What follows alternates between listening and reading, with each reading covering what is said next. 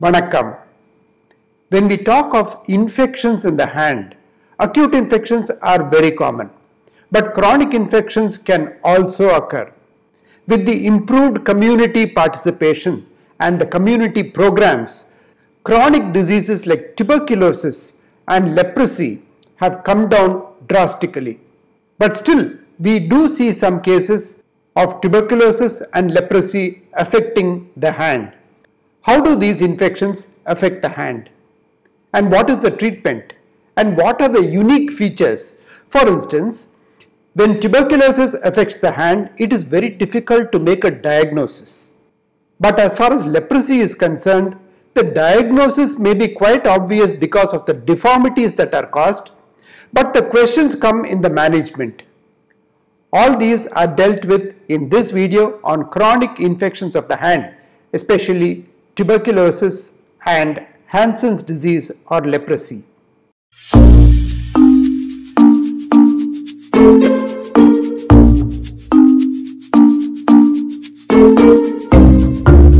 In the process of understanding chronic hand infections caused by tuberculosis and leprosy, we shall learn how tuberculosis affects the hand, what are the treatment options available, how leprosy affects the hand, and what are the treatment options available.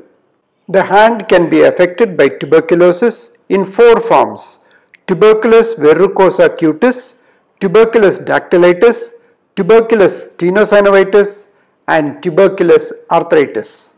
Tuberculous verrucosa cutis is the affectation of the skin by the tuberculous disease. For the verrucal form, the infection is usually self-limited and it usually affects the hands in adults. It can get secondarily infected.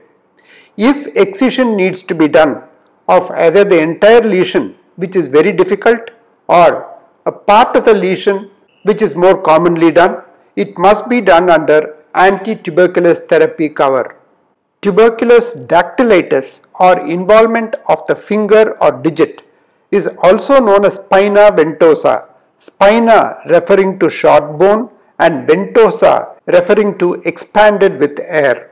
It affects the short tubular bones like the phalanges and the metacarpals in the hand. It affects children more often than adults.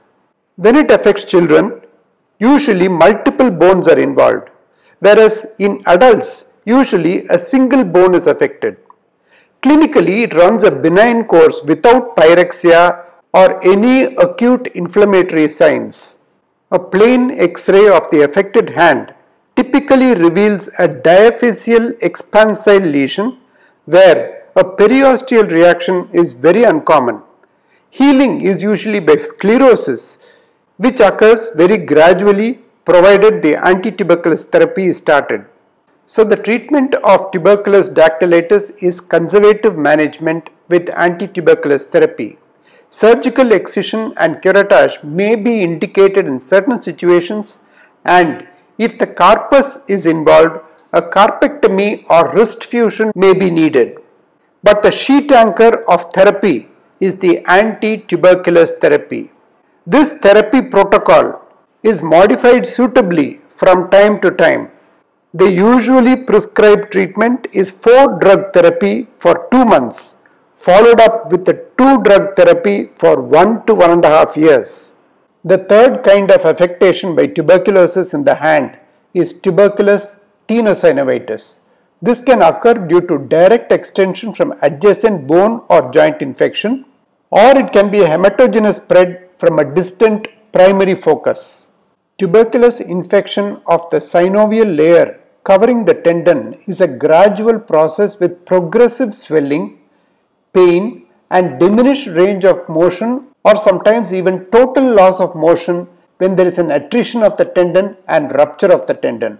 Sometimes it may present as a compound palmar ganglion which shows a swelling in the palm and in the distal forearm being compressed in the central portion by the flexor retinaculum. Tuberculous tenosynovitis could occur in three stages and this can be seen only on exploration. The hygromatous form where there is a serous exudate within a normal appearing tendon sheath. The serofibrinous form where rice bodies appear in the synovial fluid and involvement of the tendon itself with granulation tissue may be seen. Intertendinous adhesions or complete rupture may occur in this stage. The fungoid stage, this involves extensive caseation and granulation tissue formation of sinus tracts and a cold abscess. X-ray findings in tuberculous tenosynovitis are quite non-specific. There may be evidence of soft tissue swelling with or without calcification and in chronic cases, joint space narrowing, osseous erosions may be seen. The MRI findings may be a little more specific in some forms of tuberculous tenosynovitis. In the hygromatous form, evidence of non-specific tenosynovitis would be present. In the serofibrinous stage, thickened synovium, tendon thinning tethering or even disruption may be seen. In the fungoid stage, soft tissue mass formation extending beyond the tendon sheath would be pathognomonic. Let us consider a clinical case example. A 25 year old man presented with the complaints of swelling in the right hand and inability to flex the ring and little fingers of 2 months duration. On examination, there was a soft swelling on the palm extending to the ring finger.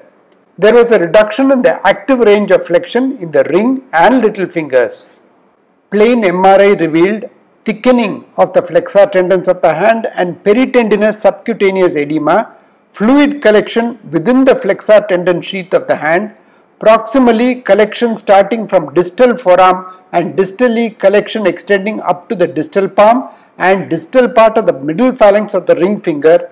Impression was flexor tenosynovitis right hand.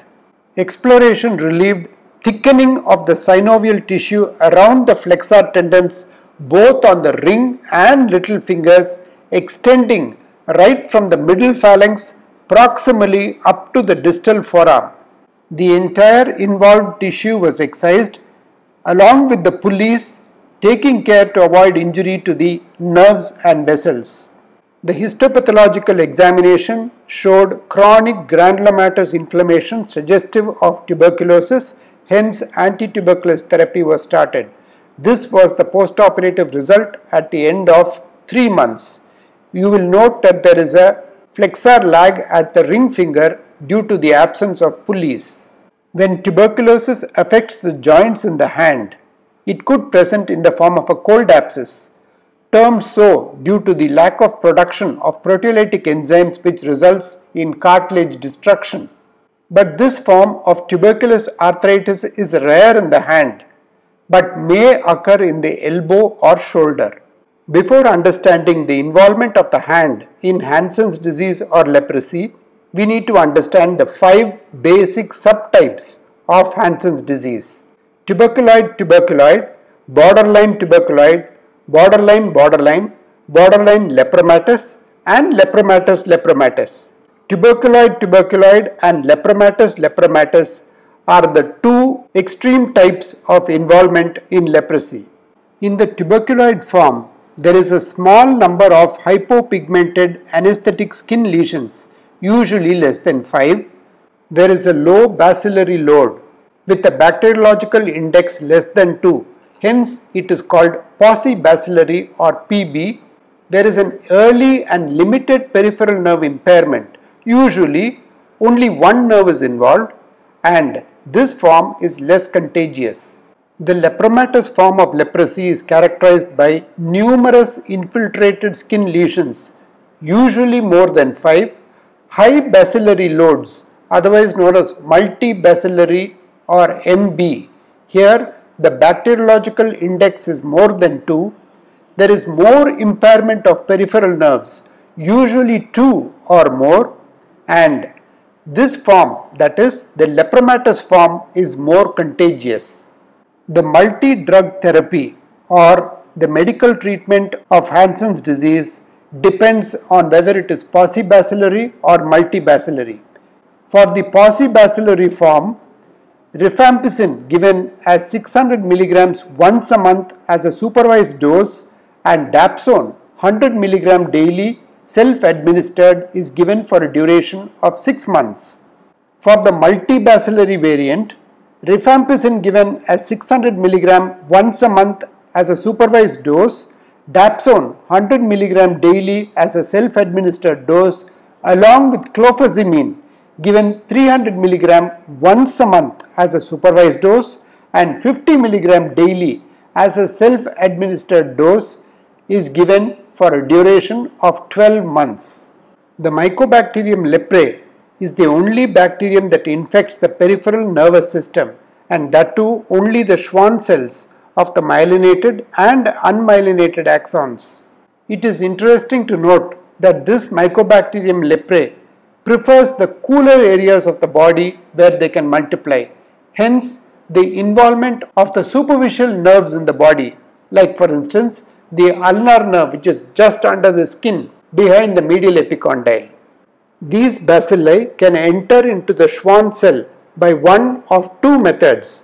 One by retrograde migration from the cutaneous nerve or by hematogenous spread. Surgery in the leprosy affected hand is done in the following situations. Decompression of the nerve trunk for preventing permanent paralysis when the peripheral nerve is beginning to be affected. Surgery is also done for acute infections of the hand and surgery is done for correcting paralytic deformities and disabilities resulting from muscle paralysis and these corrective procedures are tendon transfers. Nerve decompression may be of two types, external decompression or internal decompression. By external decompression, compression of the nerve trunk by structures external to it are relieved. For example, in carpal tunnel release, the tight flexor retinaculum is released or in case of ulnar nerve compression in leprosy, medial epicondylectomy can be done. This is done as follows. First an incision is made over the medial epicondyle and the medial epicondyle is stripped of all muscular attachments.